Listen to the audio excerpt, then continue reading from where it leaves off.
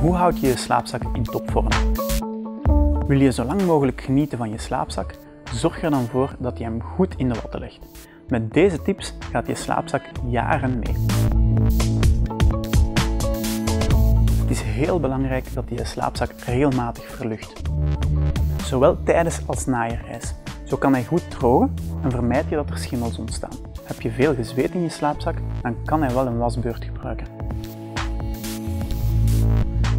Als je hem binnenste buiten in een lauw bad legt, zal het zout uit je zweet oplossen en worden de poriën in de stof weer vrijgemaakt.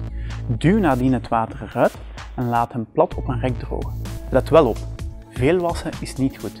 Het tast de vulling aan waardoor die minder goed zal isoleren. Wil je vlekken verwijderen? Probeer dit dan eerst met lauw water en slechts in uiterste nood met speciale zeep in de wasmachine.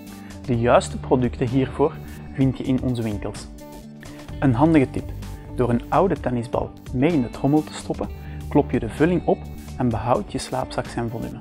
De beste manier om te vermijden dat je je slaapzak vaak moet wassen, is door een liner of lakenzak te gebruiken. Die absorbeert het meeste zweet en je stopt hem na gebruik gewoon in de wasmachine. Zo blijft je slaapzak langer schoon. Ze bestaan in verschillende materialen, zoals zijde, vlies of synthetische stoffen die je warm of net fris houden. Maak het jezelf tot slot niet te moeilijk om je slaapzak op te bergen. Prop hem tijdens het reizen gewoon in het zakje. Dat gaat makkelijker dan oprollen en het is ook beter voor de levensduur van je slaapzak. Zo staan de naden niet onder spanning.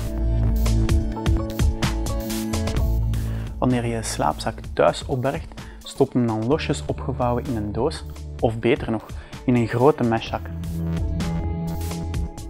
Zo wordt de vulling niet samengedrukt en kan hij verder verluchten.